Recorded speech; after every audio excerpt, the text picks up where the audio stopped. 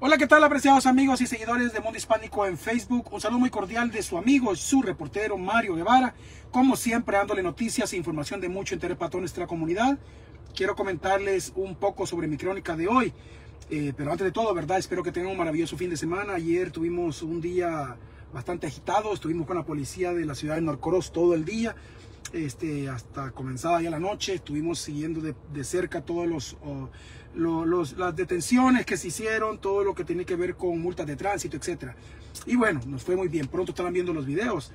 Y ya que comenzaron a conectarse, quiero comentarles un poco sobre mi crónica de hoy. Tiene que ver con la pareja de, con la historia de una pareja, ambos de origen hispano, específicamente mexicanos. Según la policía, esta parejita, eh, uno, el hombre vivía en Arkansas y la mujer vivía en Doraville, aquí Georgia. ¿Por qué digo vivía? Legal que posiblemente su nuevo hogar se convierta en la cárcel. Quiero comentarles que esta pareja eh, vinieron e hicieron un rollo tremendo. Eh, según la policía del condado de Gwinnett, esta pareja eh, secuestró a una, a una persona, secuestraron a un hombre. Eh, no se sabe realmente cuál es la relación entre el hombre y esta pareja, pero lo secuestraron, lo, lo, metieron a la fuerza a su casa, a su propia casa, tras forzar la puerta. Y aparte de eso, les, al final, cuando ya se vieron un poco atemorizados, salieron en su vehículo, en el propio vehículo de la víctima, se lo robaron. Eh, cuando la víctima tuvo chance, llamó a la policía, llamó al 911 y le montaron un centro operativo. La policía lo empezó a buscar a este individuo por doquier, a los dos, mejor dicho, a la pareja. Y la mujer cuando supo que los andaban buscando, cuando vio el gran movimiento policial, la mujer como que se cortó literalmente.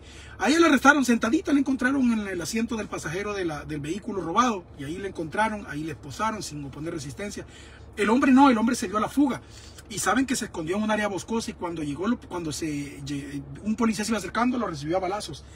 Este hombre pues tuvo suerte que no lo mataron, ¿verdad? Pero este hombre lo arrestaron y ahora enfrenta cargos por secuestro, robo de vehículo, encuentra, enfrenta cargos por agresión a un oficial de la ley, eh, enfrenta cargos por robo a mano armada. Estos son delitos gravísimos, son extremadamente graves, al punto que para tratar de salir adelante, para hacer una vida diferente, porque si te queremos vivir desordenado, haciendo relajos, eh, pues para eso nos quedamos ahí en el barrio. Mi crónica de hoy en Mundo Hispánico, del hombre y la mujer, eh, compartan este video. Hasta la próxima. Su amigo, su reportero Mario Guevara. Recuerden, lo vio primero aquí.